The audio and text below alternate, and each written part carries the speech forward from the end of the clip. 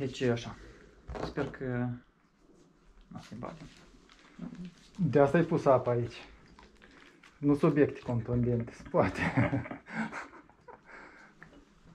Deci eu nu trebuie în principiu nimic provocator. Da, nimic provocator, vorbim chestii eh, Nu, adică despre ateism, dar conflictuale sau cum se zice. nu, nu, nu, că nu avem. Noi avem la dispoziție 30 de minute. Ok. Adică nu putem să abordăm nu trebuie însuși de cum a ajuns la ateism. Dar emisiunea e tematică, ceva despre religii? Sau? Da, da, teologic. Ah, ok. La televiziunea e publică, e întreținută din bani de stat? E, nu știu. sau e privată? E privat sau e public? Trebuie să-l întrebăm pe, Ren... Trebuie să-l întrebăm pe Renato. E privat, privat. Da? Dar și publicul doar Moldova, nu? Da, cum era Euro TV, subordonată primăriei Chișinău, adică plătită din banii primăriei. După aceea a fost privatizată, e adevărat. Da, îmi pare că a rămas numai televiziunea publică și așa e din Găgăuzie, privat. Și la, ter- în parcă la Tiraspol este. Da, bine, aceea nu e oficial. Nu subordonează ce, ce aului, de exemplu, sau ce aului, cum se numește ăla. Știu când eram la jurnalist, că acolo spuneau că e Moldova 1 și Tiraspol. Eu știu Moldova 1 și Găgăuzie TV. Nu știam că este de fapt. Este, este. Că la Tiraspol noi nu ducem evidența că nu putem controla. Nu, Mai Dar unde ai făcut jurnalism aici? USM. Aha. La facultatea la care am încercat de două ori să intru, în 90 și 91 și n-am putut. De ce? nu știu, nu știam să scriu bine, am schimbat grafia și eu scriem chiar abia cum se auzea. Dar acum? Dar acum știu că se excepții. Până la urmă limba e ceva viu. Schimbă. Asta da, dar regulile celea... Eu Da. insist să scriu cu E din E în interiorul cuvântului. De ce? Da, așa mi se pare că a fost o schimbare aberantă, nejustificată. Păi, sau, sau suntem uh, conform gramaticii de român cu toată sau cum ne convine nou? Dacă e o schimbare aberantă, eu refuz să, o- să o fac. Și Păi, mult... da, Aberantă din ce motiv? Că așa credeți dumneavoastră numai că e aberant. Da, că a fost un moft. Și face limba mai complicată în loc să o simplifice. Și este multă mass media din România care ignoră Păi, bun, prevederea. da, România de când se scria cu Dina? De 12, de 15 ani. Cu Udina. Da. Și acum Udina s-o... Înseamnă că de atunci trebuia să fie pus pe- reguli peste tot. Să fie Udina... Ei au făcut, am înțeles că a făcut uh, Parlamentul o decizie politică fără să consulte Academia. Deci a fost o decizie politică de a trece la Îdina. Uite, nu văd nimic politic aici. E, nu, că au vrut, au vrut, na, Iliescu cumva argumenta, justifica că de la râm ne tragem, din Dacia Traiană, ceva de felul ăsta. Nu mai știu exact cum a fost, dar mi-amintesc că disputele din societate atunci și eu am fost de partea celor care se opuneau. Și am rămas. Ca de obicei. da, da, da.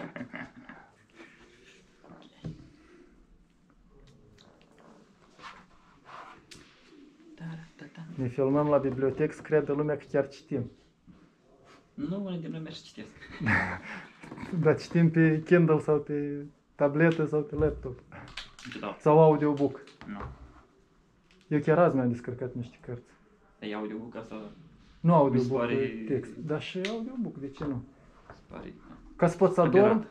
nu e aberant. Ca să poți să adormi, îl pui să latre lângă A, tine doar ca să dorm, dar nu, nu memorizez nimic de acolo, sau nu sunt... uh, până, sau până creierul te nu are deconectezi, aceleași- auzi și asculți. Mai ales dacă ai insomnii. Na, o să ajungi tu la vârsta mea și știi ce înseamnă insomnie. Și ai să asculți multe cărți. sau teatru la, radio, la radiofonic, la microfon sau eu știu. Sau învăț limba romanii, pun lecție de limba romanii și mă culp. Și Ce tot, tot, tot. Limba romilor. Așa se numește romanii? Da. De? Eu din Săroca, nu știu. Eh, Tu zici limba țigănesc. Nu, eu nu zic de fiat, zic limba... Nu zici deloc. Limba romilor, da. Se numește oficial, internațional, romanii și tot la congresul din, de la Londra din 76 s-a decis că uh, etnia, numele etniei să fie rom, pentru că vine din, uh, tot din limba romanii, înseamnă om, pe când țigan vine din greaca veche și, uh, și a devenit deja... Tot politic a fost schimbat aici. Da, da, a fost o decizie a lor, a romilor, să, pentru ei. Și noi trebuie să respectăm decizia lor. Pe când acolo a decis Parlamentul României pentru moftul lor. Nu pentru ca să ușureze, să devină mai ușoară limba. E, Care e problema dacă le zici țigan sau rom? pentru că unul are conotații negative, disprețuitoare, de-a lungul istoriei s-a compromis, altul înseamnă în limba... Deocamdată. Că ați com- ați compromit și asta sau că...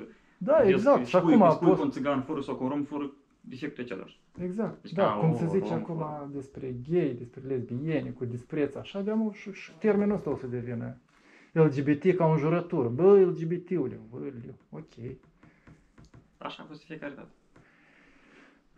posibil. Nu? Da. Și așa va fi. Sperăm. nu, Nu, sperăm să schimbe atitudinea și, Nu, atitudinea, da, față de oameni. Dar... și față de limbaj, de comunicare și de limbaj publică. la fel, dar de înclinație, cred că, părerea mea, cred că nu. Ce fel de înclinație? Adică... Orientarea sexuală da, sau despre da, sigur? da. Atitudinea față de orientări schimbă în toată lumea. Nu, adică ar fi, n-ar fi trebuit să permit, părerea mea. De 30 de ani deja s-a scos din registrul bolilor mentale. Dar nici Din n-am- contra, nici n-am zis din că boală contra, mentală. Nu, homofobia a fost băgată acum în eu- lista eu bolilor niciodată n-am- mentale. Niciodată n-am să făcut că este boală. Так, вы готовы? Noi deja vorbim, de la mine se înregistrează. Отлично. Тишина. Aha. Vrea sincron. Bună seara, sunt Ilarion Boian și urmăriți Reperele Credinței. Astăzi vorbim cu Oleg Breca despre ateism. Pentru că, cu toate că trăim într-o țară ortodoxă, dar uh, mulți oameni sunt uh, necredincioși prin faptele lor. Bună seara și bine ați venit. Salut, o mică precizare, țara nu e ortodoxă, statul Republica Moldova prin Constituția sa e laică și separat de toate cultele religioase, de toate bisericile. Din contra, la Ministerul Justiției sunt înregistrate vreo 45 de culte religioase. E adevărat, majoritatea sunt creștine, de tot felul, majoritatea sunt ortodoxe, dar e deschidere și pentru musulmani, e deschidere și pentru creștinaiți, e deschidere și pentru alte confesiuni. Deci să nu pretindem că țara e ortodoxă, pentru că nu este. Nici creștină, nici ortodoxă, e stat laic, bazat pe legi, Statul, pe legile statul, statului. Statul este laică, dar uh, majoritatea oamenilor sunt ortodoxi. Și țara este formată din oameni, respectiv, țara este ortodoxă. Asta da, conform recensământului, majoritatea covârșitoare Da, sunt în sensul pravoslavnici ortodoxi, da. Da. Ziceam că discutăm astăzi despre ateism. Uh, Vorbim la tu sau dumneavoastră? Cum vrei? Cum vrei? Uh, Tu, uh, de multe ori, te manifesti ca ateist de deschis. Chiar tu te-ai și Ateu, dezbotezat. da. Da. Și, da, te-ai născut ateist.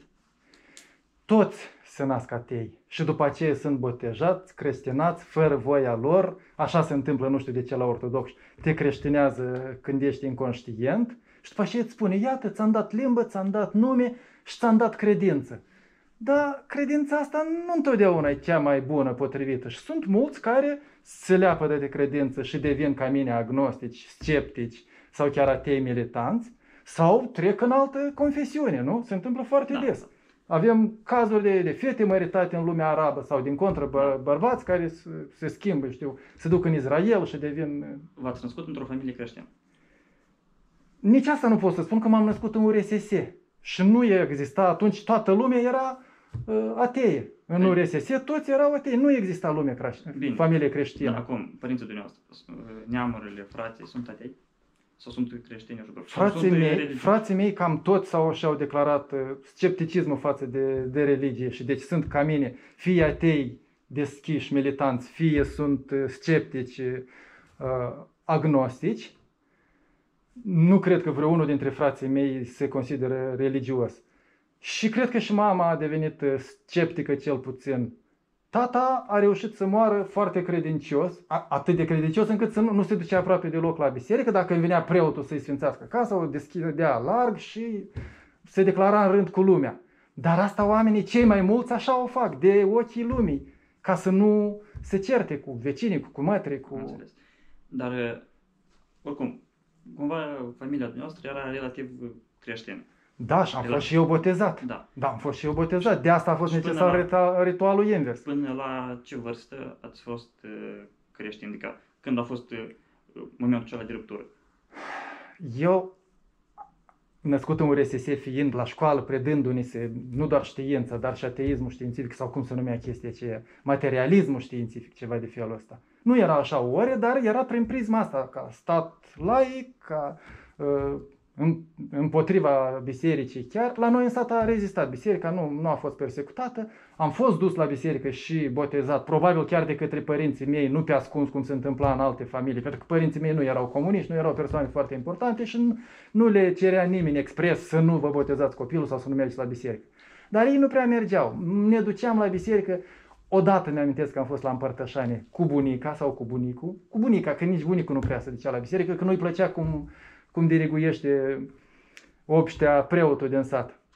Dar am fost odată la împărtășanie și mi-a, mi-a fost greață când am văzut că toți mănâncă din aceeași linguriță. Și, a, și am mai văzut uh, contradicții între ce ni se spunea la, la biserică și între ce ni se spunea la școală. Și după aceea m-am uh, ma- maturizat sau am devenit mai curios. Ce am vârstă? început să citesc Ce cărți. vârstă? Probabil 13-14 ani.